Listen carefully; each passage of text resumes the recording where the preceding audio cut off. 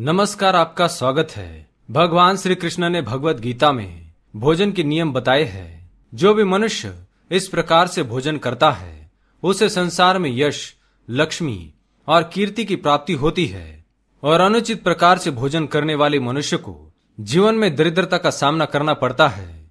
भगवान श्री कृष्ण ने न केवल गीता उपदेश देकर इस संसार को एक नई राह दिखाई है, बल्कि महाभारत में ऐसे कई असंख्य उपदेश दिए हैं।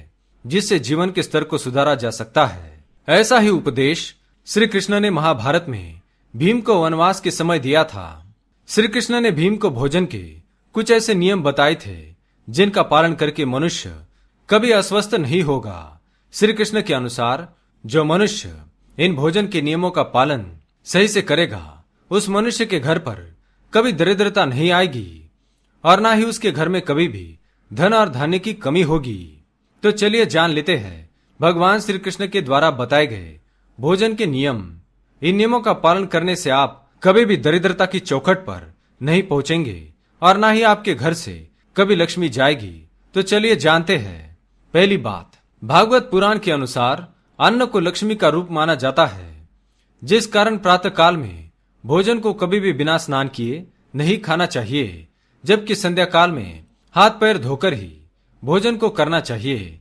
जो व्यक्ति बिना नहाए, बिना स्वच्छ हुए भोजन को ग्रहण करता है, उसे जीवन में अपयश मिलता है और कई प्रकार की व्याधियों से ग्रासित हो जाता है। इसलिए मनुष्य को सदैव स्वच्छ होकर ही भोजन करना चाहिए।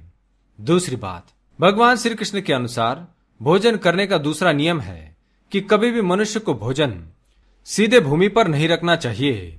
भोजन को मात्र बाजोट पर रखकर ही करना चाहिए। इसके बाद मनुष्य को भोजन के मंत्र का उच्चारण करना चाहिए। वह इस प्रकार है।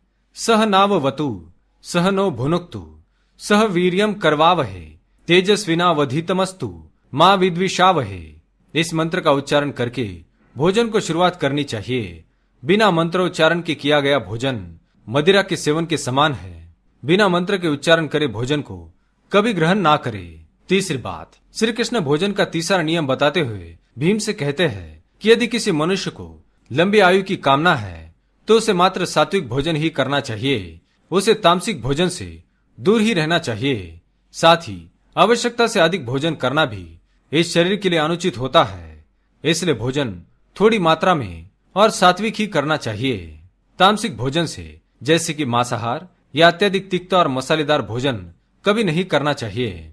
चौथी बात, भगवान श्री कृष्ण के अनुसार चौथा नियम है कि मनुष्य को कभी भी आहार के तौर पर मांस का सेवन नहीं करना चाहिए। अगर मनुष्य मांस का सेवन करता है तो उसके द्वारा किए गए सभी पुण्य कर्म नष्ट हो जाएँगे।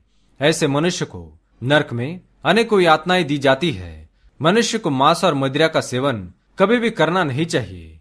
छठी बात श्री कृष्ण भोजन का छठवा नियम बताते हुए कहते हैं कि मनुष्य को कभी भी दक्षिण और पश्चिम दिशा की तरफ़ मुख करके भोजन नहीं करना चाहिए।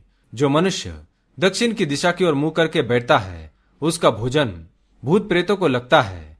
जो मनुष्य पश्चिम दिशा की ओर मुख करके भोजन करता है, उसके शरीर में हमेशा रोगों की वृद्धि होती है। इसलिए मनुष्य को भोजन करते समय अपना मुख उत्तर या पूर्व दिशा की ओर करके बैठना चाहिए। इस दिशा में मुँह करके भोजन करने से व्यक्ति का शरीर निरोगी रहता है और उसे सुख समृद्धि की प्राप्ति होती है। छठी बात। श्री कृष्ण कहते हैं कि किसी भी पुरुष को उसकी पत्नी के साथ भोजन नहीं करना चाहिए।